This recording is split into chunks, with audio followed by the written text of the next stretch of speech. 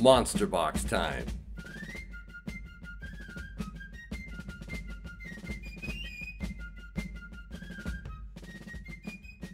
Hey everybody, thank you so much for watching Yankee Stacking. Really appreciate you watching my videos. I appreciate it if you would like this video, subscribe to my channel, even check out the description below because I have some really cool links in there. And uh, this is a big one, folks. This is my completed monster box. Actually, I'm going to be opening up the final tube in a moment. But it's really about the five lessons that I learned while stacking this thing. You know,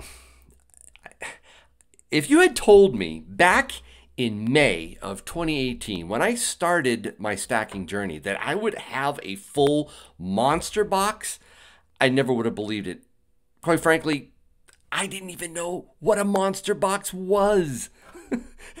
I had just gotten my very first tube. You know, it was a it was a tube. I think it was yeah, it was a 2018 tube of beautiful uncirculated American silver eagles. And you know, silver eagles or government bullion, they're a big part of stacking the Yankee way. But again, this is an accomplishment that um, I really am stunned, quite frankly, that I've accomplished.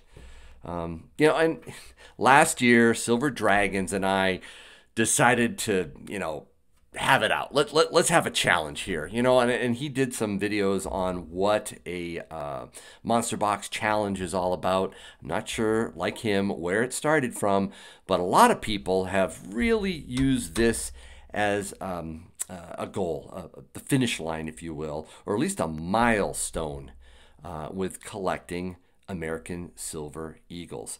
So Silver Dragons and I decided to challenge each other.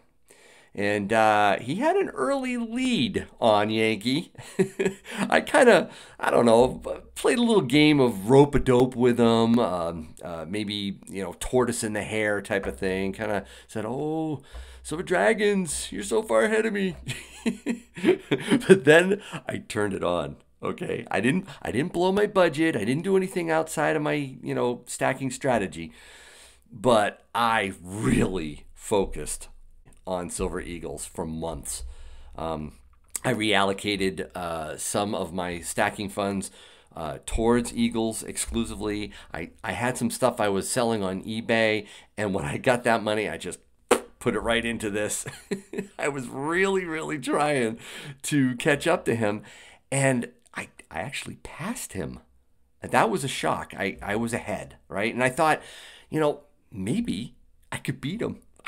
I had a lead. I had a few tubes, quite a few tubes actually. And, uh, you know, I really thought I had a shot.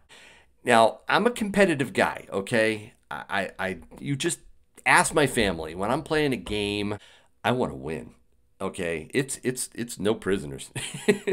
I go at it. So you know I, I'm competitive.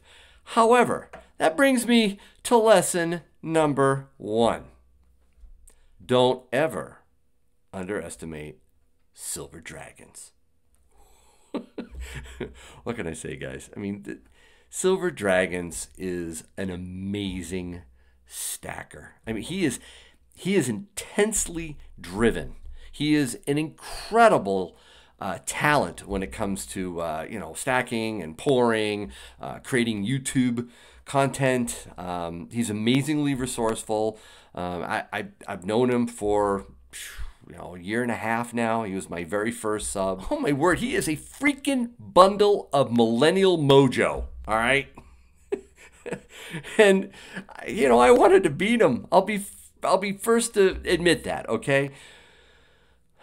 But you know what? I uh I have the honor of calling him my friend. He's probably the closest friend I have on YouTube.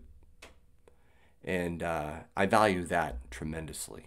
And yes, I did underestimate his final kick to the finish line. Okay, and he beat me flat out. He did.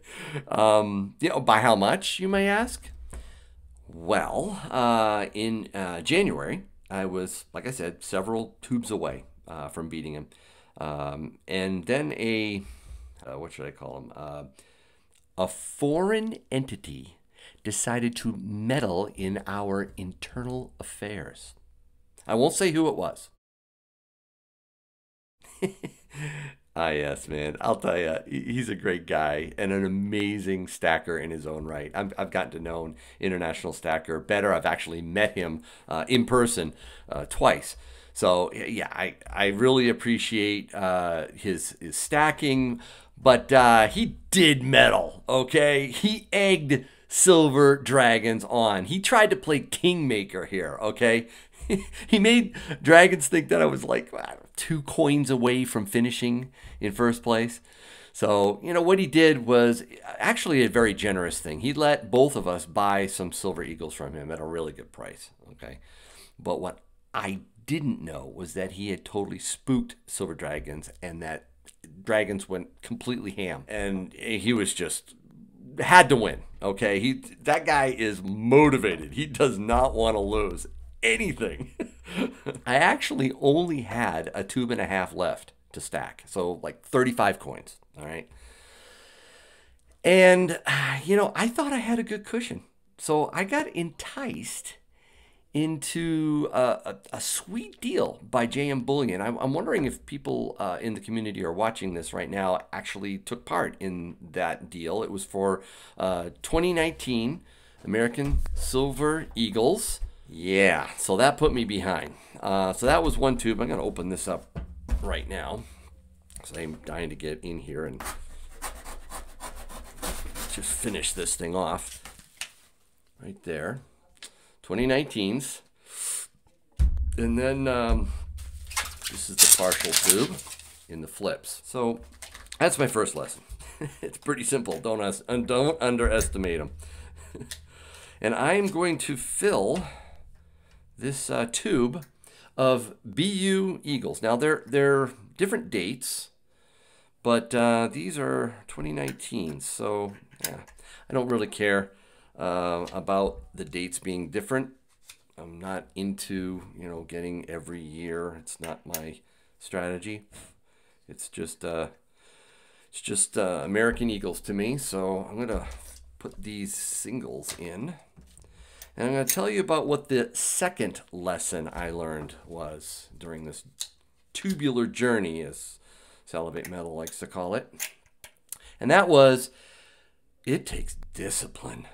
Oh my word. I mean, not just to stack this many eagles, okay, but just not to get, you know, distracted. Okay, I, I'm, I'm a pretty disciplined stacker. I focus, right? You've probably seen my videos on maintaining your stacking focus. Well, guys, I'll be honest with you. Getting this many eagles taxes your level of focus. You know, if you've watched my channel for a while, you know I strongly believe in setting a stacking strategy. So you don't veer off course, you don't like regret your purchases, that type of thing. But oh man, this really stretched me. All right, and the other thing I did was, uh, you know, not just uh, JM Bullion, but my local coin shop. That's where I got these. Uh, and that brings me to my second lesson learned. Build a great relationship with your local coin shop dealer. It is key, guys. You've probably seen my videos with uh, Tim Marshner, the owner of the Stampin' Coin Shop in Manchester. In fact, well, I just show everybody his card. He is an amazing guy. He really is. He was so helpful. He knew I was trying, I was taking Silver Dragons on. I talked about it almost every time that I went there. I mean, it was like, oh man, I got to get more American Silver Eagles, Tim. I, I, think I got a lead. He was loving this too. It was kind of funny. Um, you know, this is something else too. Every time I would walk in, he would say, Oh, I got something for you, Yankee. Hold on. And he'd go back. He had put Silver Eagles aside for me. He especially uh, put aside circulated or cull Silver Eagles. I'm going to talk about that soon. But, um, you know, it's cool to have a professional relationship with uh, your local coin shop dealer. You never know um, the opportunities it's going to open up for you. Um, it's helped spawn the Yankee swap with Tim. Um, it it um, it helped me get Silver Eagles at tremendously low prices because he knew I was a regular and I was going to keep on stacking this stuff. So he got me two more um, brilliant uncirculated. These are uh, 2007s. And I'm again, this is mixed date, so I'm going to put them in with my BUs. Nice and easy. uh, and then he gave me this. So, so what did you say this was, Tim? Uh, well, that, that box is a what they call a government box. It's a velvet case, presentation case, that's made specifically for Oh. Silver Eagles. Look at And um, Hmm. because it's made of velvet, the Eagles tarnish over time. But a simple dip will remove that. Oh, look at that. 2013. Nice date. I'm going, I don't go- see any more in here. going for my final three American Silver Eagles so that I can limp over the finish line after Silver Dragons has already uh, cooled down and put laurels on his head and had the camera crews on him him. for ruining your day. Yeah, you know, I, I sh- I- I'm not telling him to have an A-OK day. I'll tell you. Oh, well, I'm gonna have to go to the back and find some more. all right. That's cool. Check it out. And it was another BU. This one's a 2013. I was like, love it. Let me get it out and put it in the tube. So there. If I count that right, yep, that is 20 American Silver Eagles mixed dates BU. And it goes in the monster box. And uh, yeah, this one, mm, I probably shouldn't pop it open, but I always like to see. I do like to see them. So these babies, 2019s. Yep, my final tube. Awesome. Wow. Yeah, I'm a little attentive there. okay, great. Wow, 25 tubes. And that brings me to the third lesson that I learned on this incredible journey, and that is it's worth buying circulated or cull eagles whenever possible. That's what you really want to get, guys. The deals were tremendous. I got tubes and tubes worth of eagles at or just above spot. It, were some of them damaged? Yeah, they were. But most actually were beautiful. I mean, just borderline BU. Okay. And some of them, Tim sold me. To be honest with you, they were BU. Absolutely. Maybe a little tone, tarnish, whatever. You know, and I learned so much by getting cull or circulated eagles. I learned how to I learned how to remove that nasty colorized plastic from my eagles, right? Using xylene that Tim gave me. I learned how to get rid of tarnish and tone because you know Yankee doesn't like it. He he likes his silver shiny, but I learned how to do it without wiping or scratching them any more than they needed to be, just dipping them. So that was a lesson learned for me. The only challenge when collecting or stacking, I should say, silver eagles in the cull or circulated condition is that it is hard when you're in a race to stack that many fast. Okay, so right here, let me show you. The these uh, six, seven tubes are circulated. All right, or cull, non-BU. So you can tell a little bit by the edge tarnish on them. These are some of the old ones. You know, you can see. Yeah, definitely have a little bit of mark there. It's not a big deal.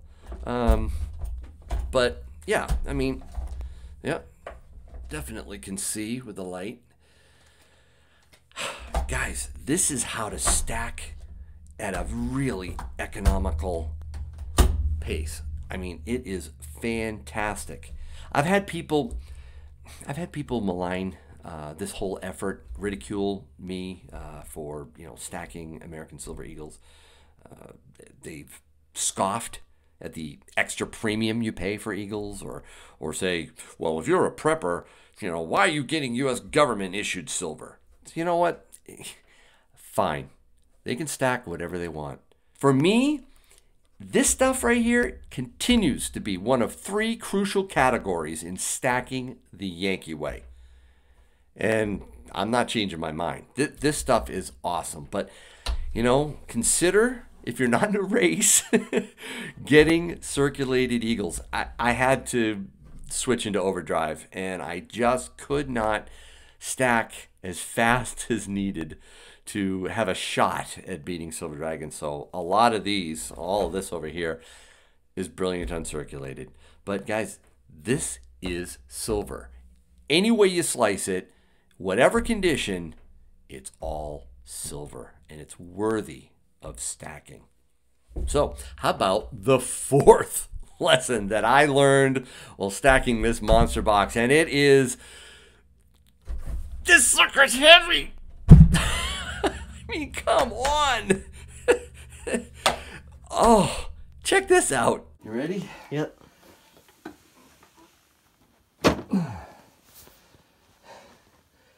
How much? 41. 41 pounds for American Silver Eagles. Dude, that is heavy. What do you think? Thanks. No problem. That is a lot of weight. And, you know, some of you might think that's trivial, but for Yankee, it's not. One of my philosophies is to stack dense. And I like to do that. I have, you know, other uh, stuff that I stack, especially gold. And boy, does that reduce the overall weight of your stack. Having multiple boxes of this stuff, yeah, that's somewhat contradictory to my stat, uh, my stacking strategy. So, you know, this this this is probably it, guys. I, I'm I don't think I'm gonna do another monster box, at least not anytime soon.